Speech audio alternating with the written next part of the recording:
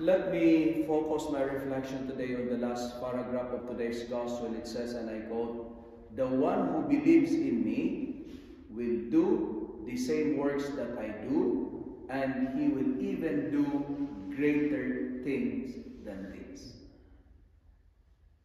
He will even do greater things. I love the word we can do greater. And you know what, my dear friends, my dear brothers and sisters, my dear parishioners? You know, the gospel for today is we celebrate the feast of Saints Philip and James.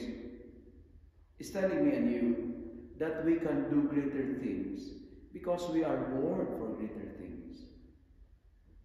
And believing in God, believing in Jesus, will give us the power to do greater things.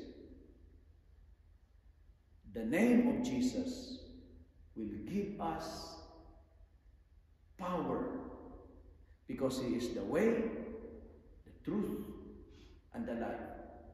He is our satisfaction.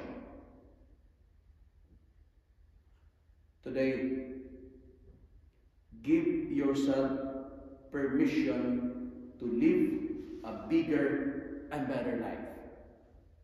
Meaning to say, we need to step into who we are meant to be. We can do greater things, therefore, stop thinking small. Stop playing small. Because we are born for greater things. If we believe in God, we can do greater things. And he said here, if in my name you ask me for anything, I will do it. Because nothing is impossible with God. The name Jesus is the most powerful name. Believe in Him. Because, as what I've told you, we are meant for greater things. You know what? Keep believing.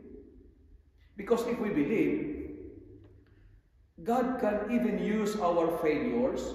He can even use our problems. He can even use our crises and worries to make us great. God can even use our weaknesses to make us strong, to strengthen us. He can make use our defeats to make us victorious. Even though we are not perfect because of our sins, even though we are not perfect because of our limitations, God has a greater and a bigger plans for you and for me. And what is His plan? What is the bigger plan of God? To give us life eternal. Only God can give us life eternal. Because He said here, I am the way, the truth, and the life. No one can come to me